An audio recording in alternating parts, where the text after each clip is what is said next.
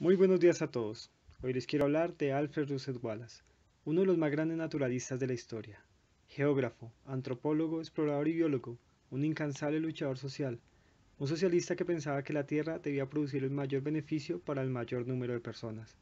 Criticó fuertemente el librecambismo, en realidad el primer capitalismo, donde una sola persona puede abarcar mucha riqueza. Bueno, a Wallace esas ideas no le sonaban, ya que consideraba que afectaba directamente la clase trabajadora. Y no solo eso, a diferencia de muchos otros, él creía en la igualdad de las mujeres. En sus textos, Wallace reclama sobre el derecho al voto de las mujeres, además que piensa que el control de la población está directamente relacionado con su nivel académico. Una mujer preparada podría postergar, otras veces reconsiderar la idea de tener hijos. Wallace nació en la villa galesa de Jambadoc el 8 de enero de 1823 aunque su nacionalidad ha sido tema de debate, ya que ninguno de sus padres era galés, y el mismo Wallace se refería a sí mismo como un inglés. Podríamos decir que Wallace era un inglés nacido en Gales. Su padre, Thomas Bere Wallace, era de procedencia escocesa, y se piensa que tenía parentesco con William Wallace, el líder escocés de la independencia de Escocia.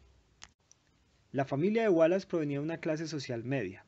La mala visión para los negocios hizo que gran parte de una herencia que recibió su padre se perdiera y afectara fuertemente su economía.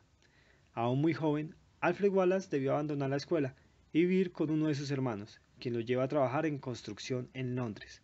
Allí comienza a leer sobre autores como Robert Owen y Thomas Paine, sobre ideas reformistas, promotores del liberalismo y la democracia. Posteriormente abandona Londres para irse con otro de sus hermanos, quien le enseña sobre agrimensura. Pero a la edad de 20 años, Wallace abandona el negocio y es contratado como maestro en el Collegiate School en Leicester, para enseñar dibujo, cartografía y agrimensura. Posteriormente, Wallace conoce a Henry Walter Bates, un naturalista y explorador, quien le enseña sobre la recolección de insectos. Durante este tiempo, lee El viaje del Beagle, de Darwin, Vestigios de la historia natural de la creación, de Robert Chambers, y Principios de Geología, de Charles Lyell, considerado como uno de los fundadores de la geología moderna.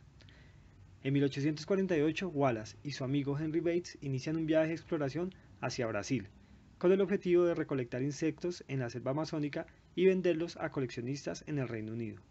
Poco tiempo después llega a unírseles su hermano menor Herbert, pero tristemente muere dos años más tarde por fiebre amarilla. Wallace continúa con su exploración y durante cuatro años recorre Río Negro, llamado esa forma en Brasil, o Río Guainía, en Colombia. Aparte de la recolección de insectos, Wallace se interesa por todo tipo de flora y fauna, además de las poblaciones humanas, sus lenguas y la geografía. Wallace embarca de regreso a Inglaterra el 12 de julio de 1852, pero un lamentable hecho ocurre en el barco en el que se transportaba. Producto del derrame de un bálsamo, el barco se incendia y con él se pierde la mayoría de los especímenes que había recolectado. Diez días después, Wallace y la tripulación son rescatados con únicamente su diario y algunos dibujos. Al cabo de dos años, Wallace emprende otro viaje por el archipiélago malayo y observa que existe un límite geográfico sobre el cual fauna y flora son diferentes a ambos lados.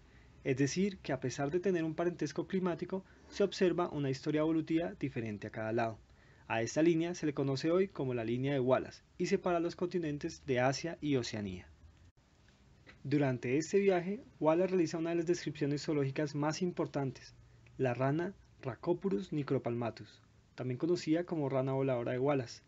Resultado de este viaje de exploración, en 1869 publica El archipiélago malayo, convirtiéndose en uno de los diarios de exploración científica más importantes del siglo XIX.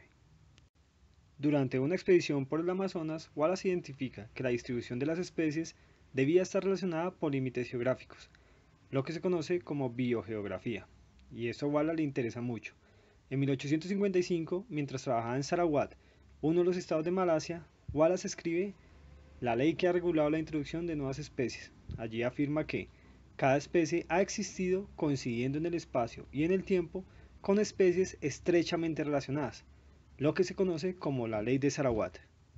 La teoría de evolución por selección natural no solo se le atribuye a Darwin, Wallace por su parte también idea esta teoría, aunque sí hubo algunas diferencias en las ideas propuestas. Mientras Darwin enfatizaba que debía existir una competición de individuos de la misma especie para la supervivencia y la reproducción, Wallace por su parte creía que era el medio quien forzaba a las especies a adaptarse al entorno local. mucho se escucha hablar de Darwin y parece que Wallace ha tomado un segundo plano en cuanto al desarrollo de esta teoría. Pero el hecho es que juntos anunciaron la teoría.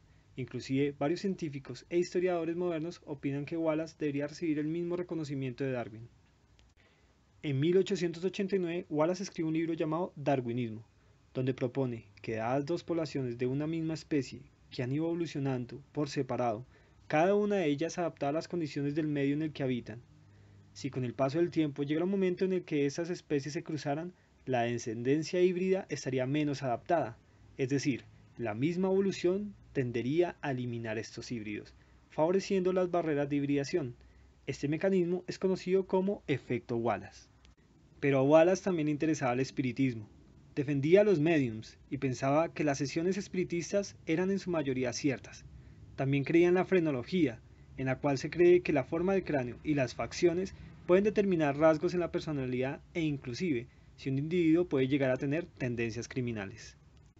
Finalmente, Alfred Russel Wallace muere a la edad de 90 años, el 7 de noviembre de 1913, en Dorset, Inglaterra, enterrado en un pequeño cementerio de Browston. Posteriormente, varios científicos británicos forman un comité para hacer que se colocara un medallón honrando a Wallace en Westminster, cerca de la tumba de Darwin.